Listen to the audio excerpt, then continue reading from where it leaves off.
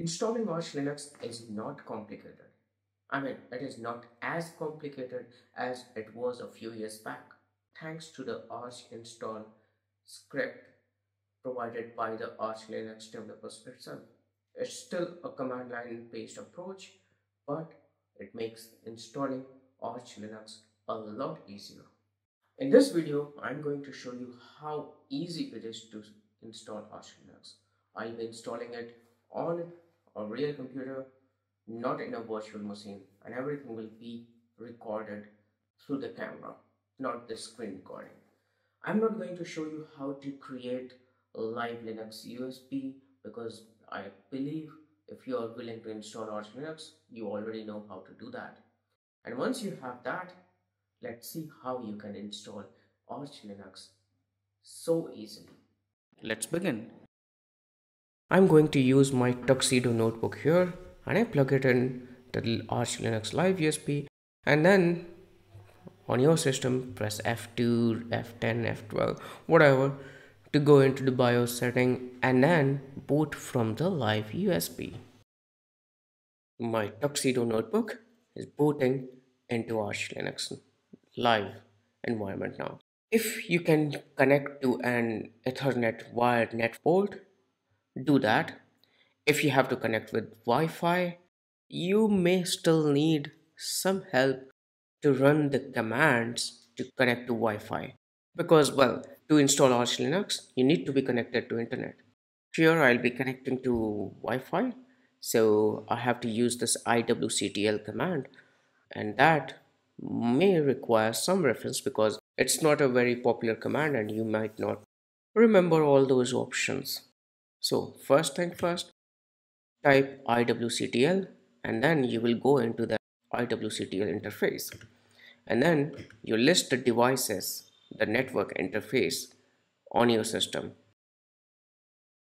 In my case, it's WLAN 0. So what I'll be doing is I'll be scanning the Wi-Fi networks for this particular interface.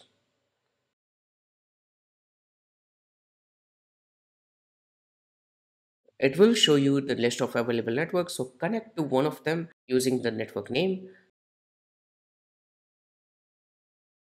And when you use the network name, of course, you need to enter the password. And then you can exit the interface and verify that you are connected to internet by pinging some you know famous websites all right so the system is now connected to wireless. This is important because you cannot install arch linux this way without internet. The next step is to run the script called arch install. It will show you a list of things to configure. Some of them will be already configured. Some of them you have to configure them by pressing enter and then selecting the available options. Like you have to go and select a mirror from where you'll be downloading the arch linux files. For that you could use your country or united states because uh, they have lots of servers. And then the next is to check that you have correct keyboard layout and language set. The most important part is the partitioning. Since I'll be installing Arch Linux as the only operating system on my computer, I'll go with the best effort default partition layout, which means that it will have a EFI partition and a root partition. I'll be selecting the disk, the hard disk where it will be installed, and then you have the choice of file system and I'll be going with BTRFS. I won't go with the disk encryption. The bootloaders, there are several options, but I'll be going with the systemd-boot. That's okay. The next is swap, which is on, that is okay. The host name you can leave as it is, but I want it to be personalized, so I'll be using It's FOSS here. It's just the name of your computer, and you already know that. I won't be setting a root password here. Instead, I'll have a user account with sudo access. Here is the username Abhishek and a password which should be strong, of course. And then it will ask if I want to use so Abhishek as sudo, which is of course I have to so I confirm and exit. And then you have to set a profile what kind of system it is. For me it is a desktop so I'll go and check the desktop option. It will show you a list of desktop environment to choose. I chose GNOME. That's my favorite. Yeah I said that. I like it and you have also the option for installing graphic drivers and the login pages and stuff which is fine. Uh, the next is audio. Uh, you should select audio here uh, wire or PulseAudio whichever you prefer. And then there's option for kernels. You can go with the default or the LTS whichever you want. The important part is to have a network configuration use network manager otherwise you will not have Wi-Fi access later on. And then the regular stuff like choose your time zone and automatic time sync.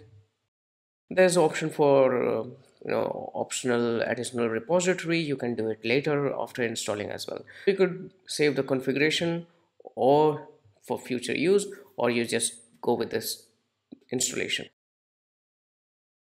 so it will show what kind of configuration you have shows and then it asks you whether you want to continue and you continue. And now this is just a waiting game. Depending upon the network speed you have and the mirror you chose, it will download files of around, I don't know, 1 GB or something. And it takes quite some time. And on that particular day, when I installed this, uh, my network was uh, painfully slow. So it took quite some time. I'm going to just speed this entire process up. So whatever time it takes, and it will be like at the end of this, the installation part is finished. You shut down the computer, take out the USB, and boot your system again and wait for it. So here you can see the Arch Linux is there takes a couple of seconds and voila that's the GDM login manager.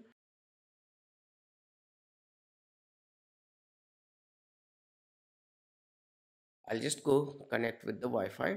This, is why the network manager part was important. So connect to the internet and then you're good to go. See how easy it has become to install Arch Linux these days. And now, if you follow this as it is, you too can proudly say that, oh, by the way, I use Arch Linux.